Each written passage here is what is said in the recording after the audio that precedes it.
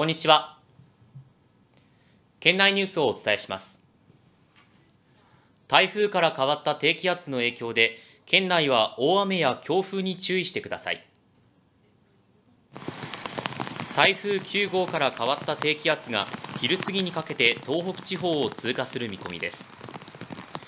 午前10時半までの24時間に降った雨の量は由利本荘市本庄で49ミリ仙北市田沢湖で39.5ミリです。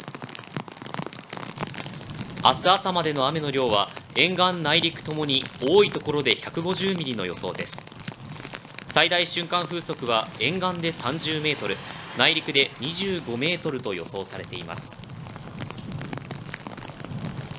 県によりますとこれまでに大館市と能代市で屋根などが剥がれる被害が2件ありました。この後夕方まで強風に夜遅くまで大雨に注意してください。八郎潟町の69歳の男性が熱中症の疑いで死亡していたことが分かりました。湖東地区消防本部によりますとおととい午後八郎潟町で草刈りをしていた69歳の男性が軽トラックの中で意識のない状態でいるのを家族が見つけました。熱中症の疑いで病院に運ばれましたが亡くなりました。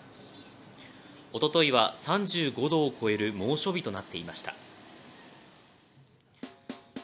続いて天気予報です。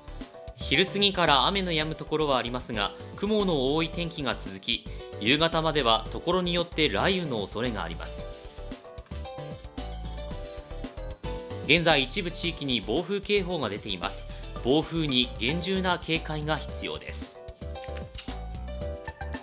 週間予報です。明日水曜日は広い範囲で雨が降りますが午後は次第に雨は止む見込みです。